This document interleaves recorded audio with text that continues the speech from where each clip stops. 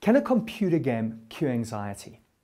When I studied psychology, many people believed that mood disorders like depression and anxiety were caused by early childhood trauma, and our best hope of a cure was years on the therapist's couch. Yet the latest studies show that there may be a quicker cure. It's true, negative experiences in childhood or later can produce emotional problems, but that's because of the way those experiences shape our attention. Let's say that you came out of an emotionally abusive relationship.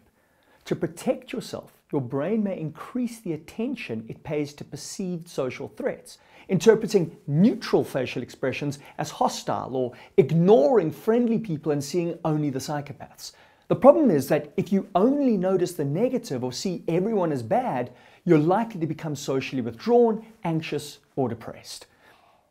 With this in mind, Psychologists have developed a new therapy called cognitive bias modification, or CBM, that simply retrains your brain to focus attention on the positive. Delivered in a simple smartphone app, you'll be faced with three negative facial expressions and one positive. The quicker you click on the positive expression, the more points you'll get. By playing the game, you'll soon start ignoring the negative expressions and speeding up your detection of the positive. Amazingly, your attention will start shifting in your life too as you start noticing the good rather than the bad. If you've ever played Tetris for long enough, when you stopped playing, you would have still seen all those shapes, right, in your head. Well, this app works a little bit like that. Keep seeing the positives in the game, and when you go back to life, they're still there.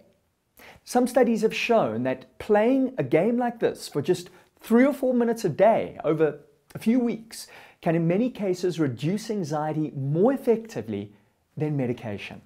In fact, not only do players experience low anxiety, retraining their attention on the positive produces detectable changes in their brains. See, the problem is not what happens to you, it's what you pay attention to.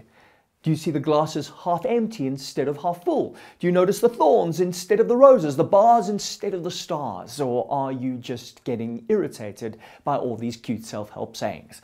If so, you may benefit from learning to refocus your attention on the positive. The app is called Anxiety Mint. For more information, go to www.biasmodification.com or just start paying attention to the good in your life. Now, experiments on yourself.